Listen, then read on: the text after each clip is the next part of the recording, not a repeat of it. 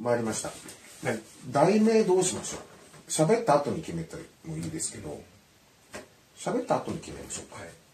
じゃあえーっと僕が田村清がプライド初参戦。はい、プライド初参戦。2002年ですね。2002年の2月埼玉スーパーアリーナ、はい。えーバンダレーシーバ戦はいでもバンダレーシーバといえば当然のことながら、まあ、桜庭和志はい。と幾度か、えー死闘を繰り広げていてうん。で作ちゃんが、まあ、連敗していた相手ですよね。はい。そこで二連敗ですね二連敗。そうですね、でそこで、えー桜庭和志と巷では、えー仲がよくよろしくないと言われているタムちゃんに白羽の矢が立って、はいえー電光石火的にタムちゃんがプライドのリングに上がることになったと、でいろいろまあ物議を醸した試合です。だから高田さんと桜庭が僕がプライドに上がることに対してあまりよく思ってなかった時代でもありますね。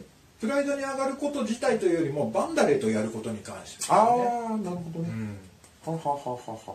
これごめんなさい。2000 2002年の2月です。確か2月の24日だったと思いますあそんな感じですね、2月にしましょう、は い大丈夫。大丈夫です。でバンダレシューバーでよく思ってないまあシューバーシューバーとやるのがよく思ってないってことです、だからもし仮にタムちゃんがバンダレーを取ってしまったらっていう危惧もあったと思います。ああなるほど。あの高田信彦としては。はいはいはいはいはいその時は高田道場として桜庭和志もちゃんと所属していてそうですそうです。高田さんと桜庭の関係っていうのはまあ高田道場内でもしてはい、まあ、指定でありえー雇用主でもありっていうような感じですよね。はい。まあ、高田部屋の桜庭和志、そうですそうです、はい。まあ親方ですよね高田さん、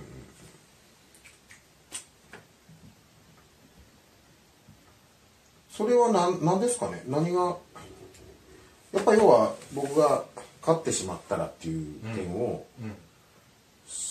でもしこう、美味しいところを取られてしまったら、策が体を張って今まで築き上げてきたものが、一瞬にしてタムちゃんに持ってかれてしまう、なぜそういうような状況を、プライド側は作るんだと、うん。そういう憤りでもあったと思います、はいはいプライドの運営側に対する憤りもあったと思います、まあでもよくは思えないでしょうね、僕が高田さんや桜庭の立場だったら、だと思いますね、はい。よくは思えないんですけどただこれはもうプライドで完全実力主義なんで、はい。えー僕が選手と懐かしい言葉ですね。完全実力主義って。懐かしいですか、懐かしいですよね。確か船木さんとか言ってましたよね。パンクラスで。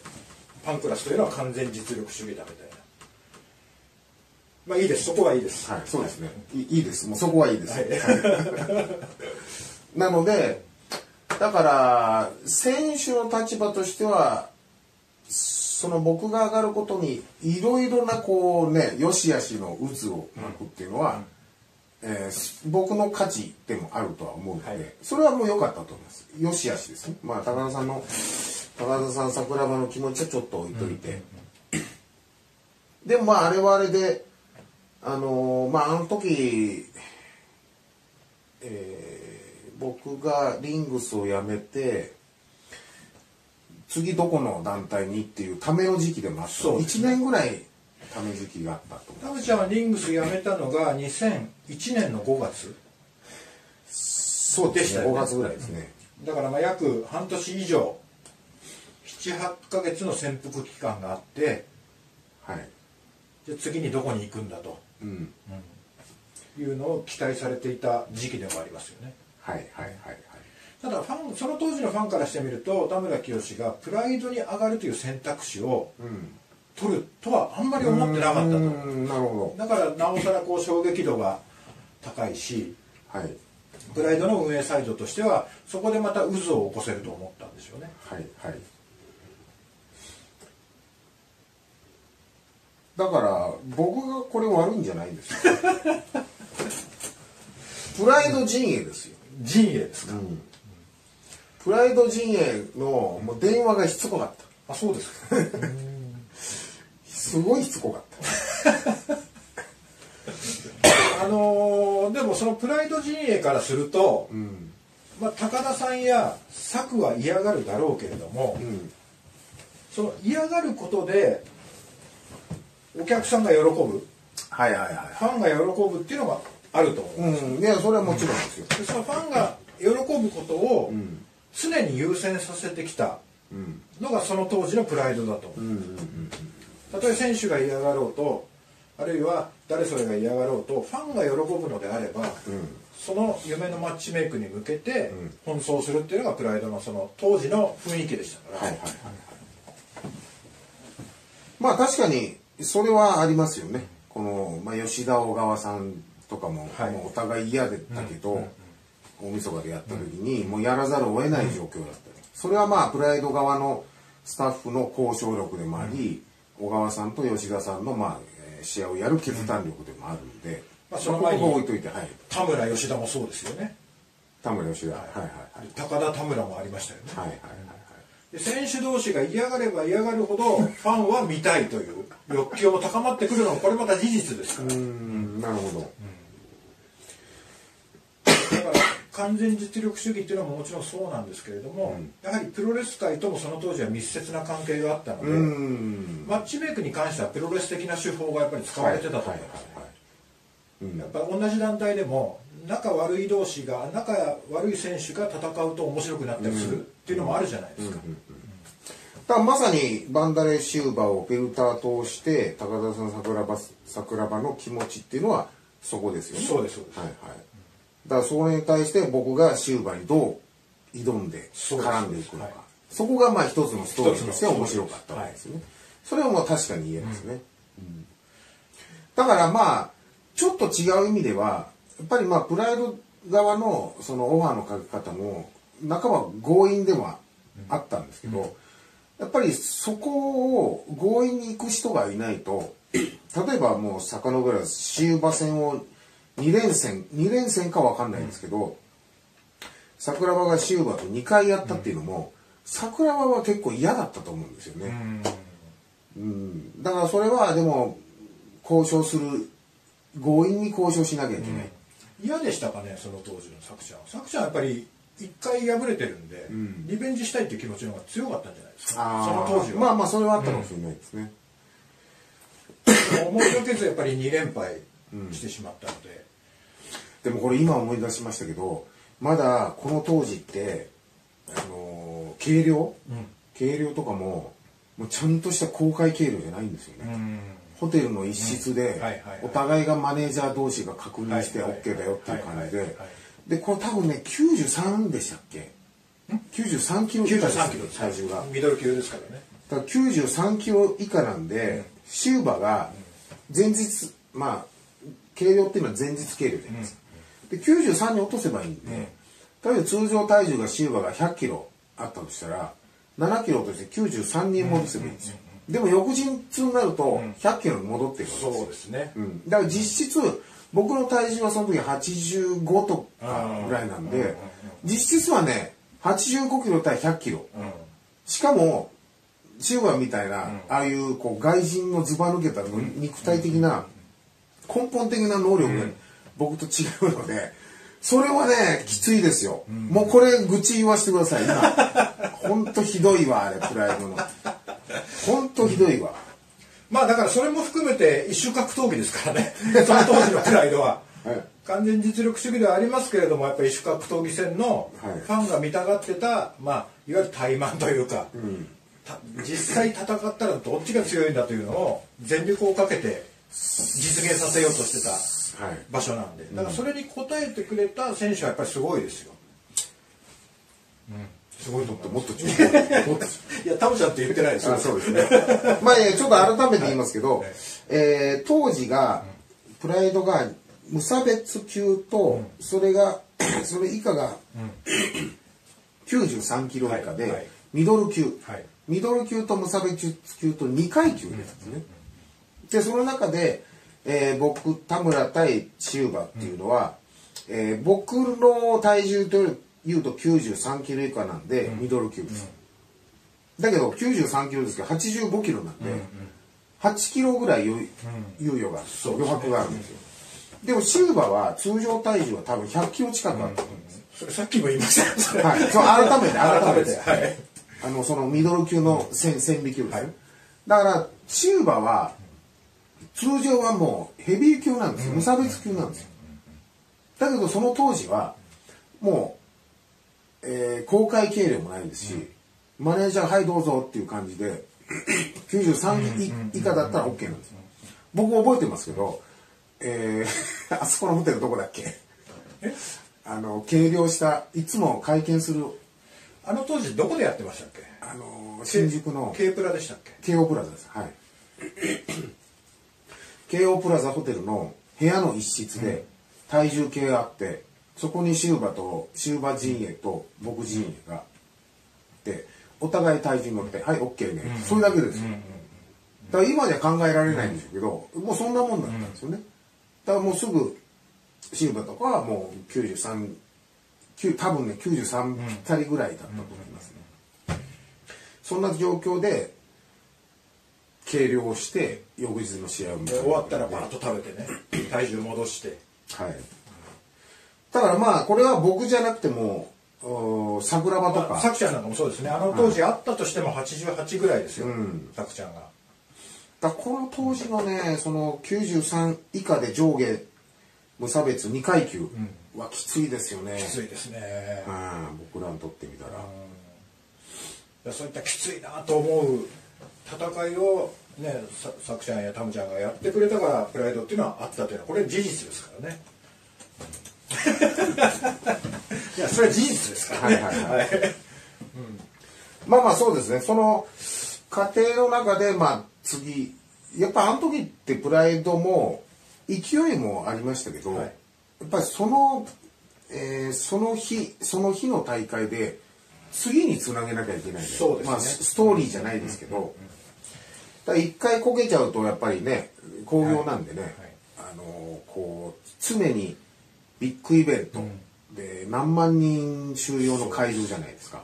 でなおかつ、まあ、エース級であるさくちゃんがバンダレーに2連敗してしまったと、であんまり良くない、えー、と結果になってしまっているので、じゃあその次にどうストーリーを作っていくか、っていうのはこれやっぱりプライド陣営としては真剣に考えなきゃいけないし。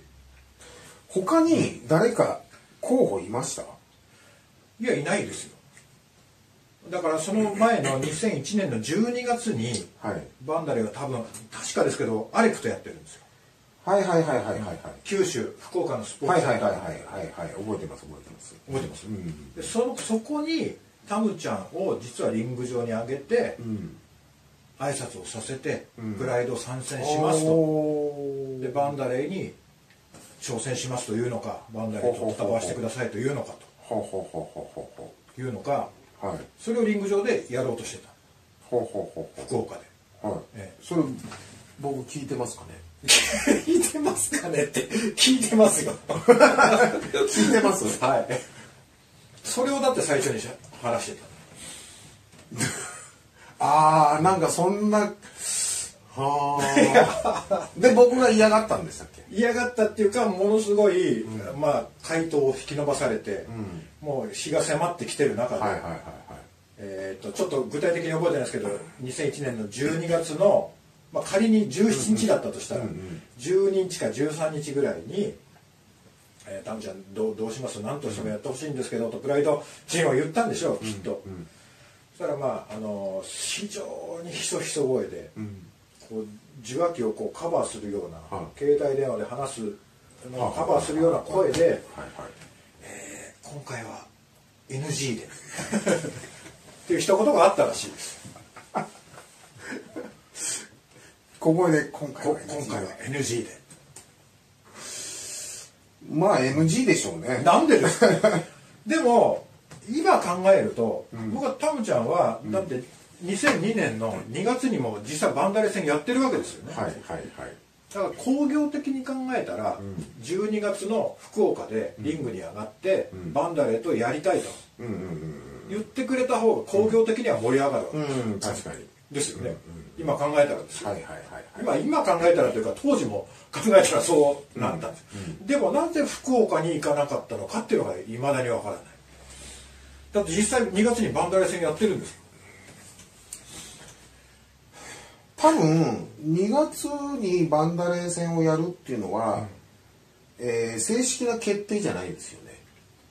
まだその2ヶ月前の福岡でやりますっていうのをリング上でやらせてくださいかやりますか、そこはねまだ僕自身の中でやるのかやらないのか決めてなかったと思います。まあまあそうでしょうね、んそう。それはだからしょうがないですよね NG いやそれはねファンの気持ちになって、福岡行って次やりますってなったら盛り上がったと思いますよ、だからタムちゃん不思議なことにやっぱプロレスの世界も経験してるし、まあ、UWF だったり U インターで、その興行のつなぎ方とかも熟知してるはずなんですけど、そこでやっぱりどうせやるんだったら盛り上げてくれればいいのにと思いつつもすかすことがあるんですよ。すかしますね、えあのねそれはねプライドになると、やっぱり、えー言うとあれですけどもう競技がガラッと変わるんで、そういうね余裕はないんですよね。あ僕自身はですよ、だからクソ真面目なんで、もうクソ真面目にもう終盤にもう勝ってやる気持ちで向かうんで、あまりねもうそこは周りはあまり見えてないなるほど。うん、かったと思いますね。でも良かったですよ、スーパーアリーナ、結構、チケット売れたんでしょ？売れたと思いますよ。僕も聞きましたけど、初動で1万枚とかいったって聞きいやあの当時は結構初動とかで行ってましたからね。はいはい。うん。いや、すごいですよね、でも。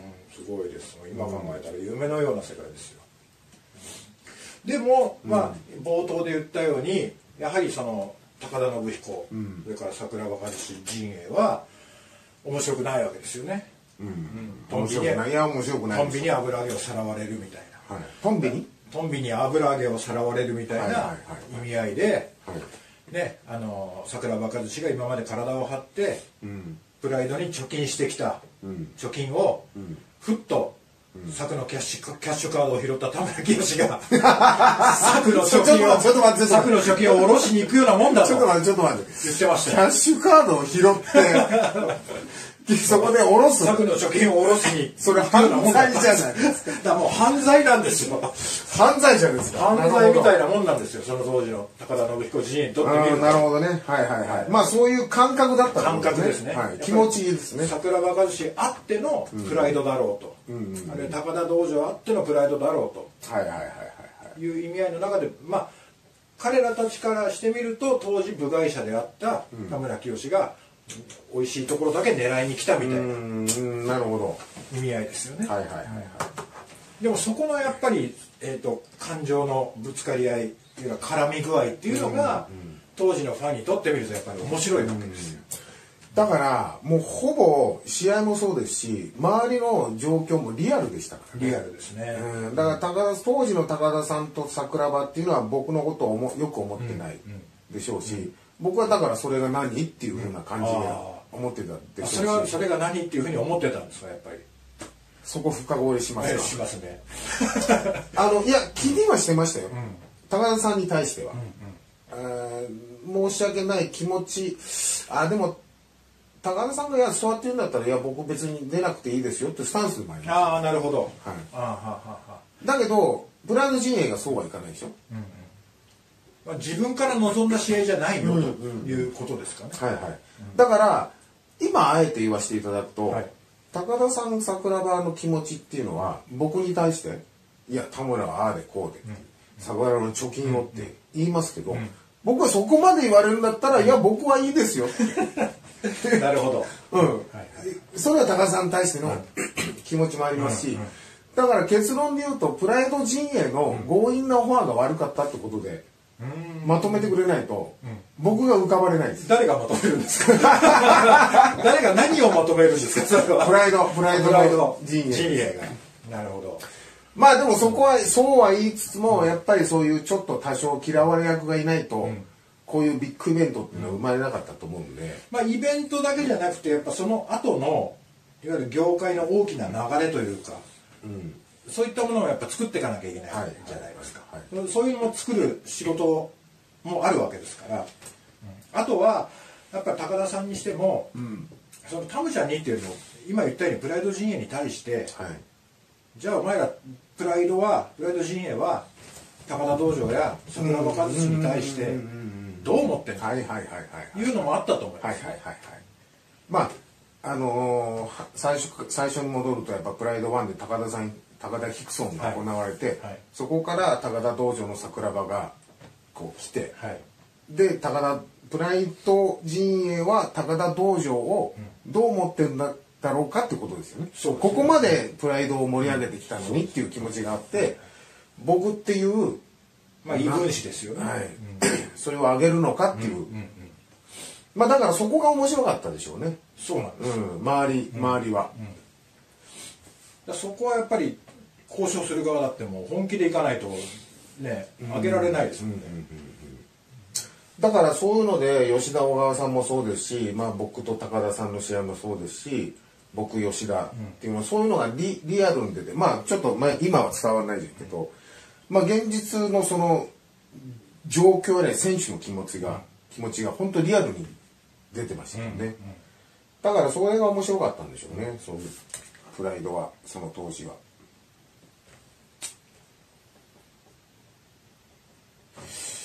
そんなとこですかね。あ試合については一切語らなくていいですかねあ、語りましょうか。バンダレーはバンダレー戦実際やってみてはい。あのいわゆるあのこ黒人系